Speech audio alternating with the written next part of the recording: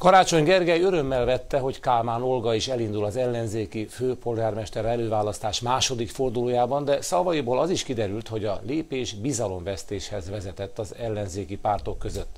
Az MSZP és a párbeszéd közös jelöltje egyébként öt alkalommal vitázna az ellenfeleivel a környezetvédelem, az egészségügy, a közlekedés és a lakhatási költségek témájában. Szerintem kell dolgoznunk azon, és most ismételni tudom magamat, hogy a pártok közötti bizalmi viszonyt megerősítsük, amely az elmúlt napokban nyilván inkább gyengült, mint erősödött. Így értékelte Kálmán Olga indulását Karácsony Gergely. A DK csütörtökön jelentette be, hogy saját jelöltet indít az ellenzéki főpolgármester előválasztás második fordulójában.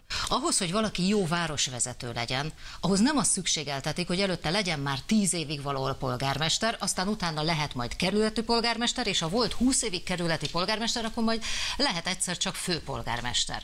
Karácsony Gergely örömmel vette, hogy Kálmán Olga is elindul az előválasztás második fordulójában, azonban kritikát is megfogalmazott. Függetlenül attól a jó hírtől, hogy még egy jelölt, még több vita, még nagyobb legitimitást eredményez, ez felvet bizalmi kérdéseket, amiket a pártoknak szerintem rendezniük kell, független attól, hogy ki lesz az előválasztás győztese, és ki lesz ezeknek a pártoknak a közös jelöltje.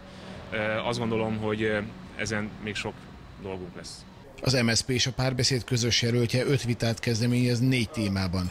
Ezeket a javaslatait már el is küldte a DK és a Momentum jelöltjeinek. Az, hogy Karácsony Gergely, a DK és az MSZP meg a párbeszéd között milyen megállapodások voltak és milyen bizalmi válság van közöttük, azt én nem szeretném kommentálni. Én a versenynek örülök, annak, hogy minél több résztvevő közül választjuk ki azt az embert, aki a budapesti polgárok megfelelő kihívónak tartanak Tarlós István ellen. Ez a lényegi kérdés.